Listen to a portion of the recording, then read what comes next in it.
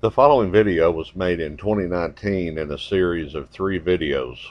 Uh, I have combined the three videos into one and added comments.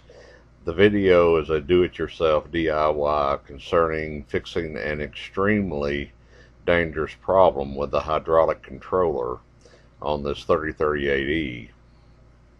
I do not know the actual cause of the problem, but the result is that the end of the cover that covers what I believe is called the detent uh, popped off, for lack of a better term. These parts are loader, loader model specific more than tractor model specific. The video covers uh, replacing the part as far as location of the part and what the part looks like. Uh, though I did not show the procedure as I have no stand for my camera and working with one hand holding a camera is not very feasible. If anyone else has had this problem, I would be very interested to know in the comments. Uh, please leave a comment and uh, any details that you would like to leave about it. Uh, if this is an ongoing problem, I think perhaps John Deere uh, needs to be made aware of it. Anyhow, thank you for watching.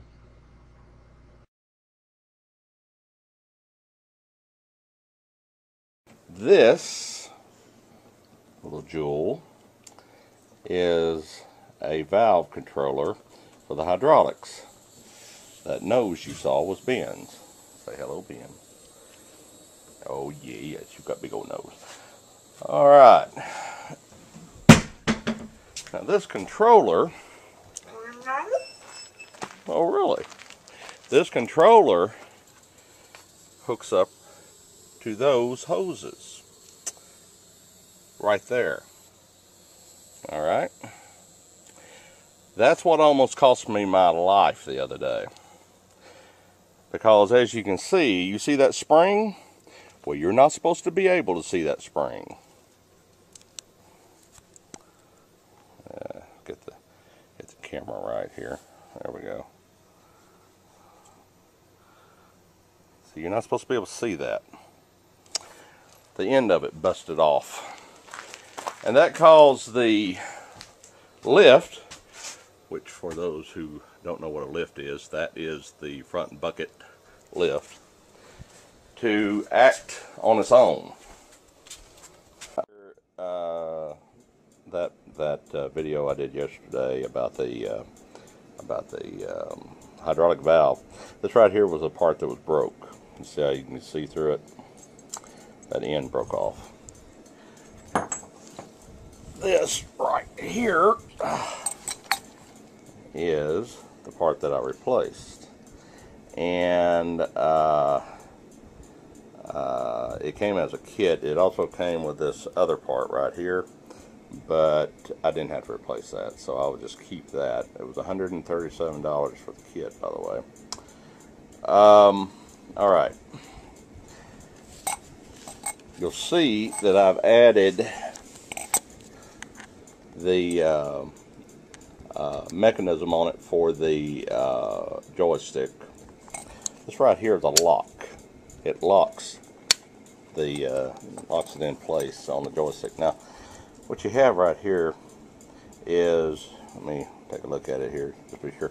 Okay, what you have right here is this right here is stationary. These, this one, and this one right here are uh, the ones that actually move the plungers in there that uh, raise your um, lift up and down and tilt it. And uh, if you'll notice this one right here sits perpendicular to this one and this one sits parallel to the stationary one. This is really the main swivel. Okay. So if you are putting one of these together, if any of you see this YouTube and you're trying to put one of these together, uh, that ought to give you kind of an idea how it goes back together. Because I had to figure it out. And it wasn't fun. Okay, well actually it was fun. I like figuring things out. Okay, now what I'm going to do here is I'm going to, you know, sorry about that with the camera. Let me get this thing going. It's, it's, uh, it's made kind of cocky-locky here. Okay. Hang on.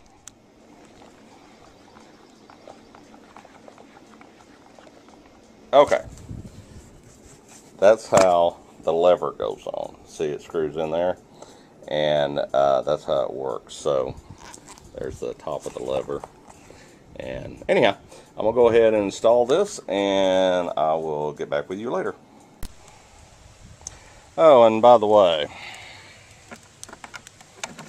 you'll notice that it is mounted. All right. And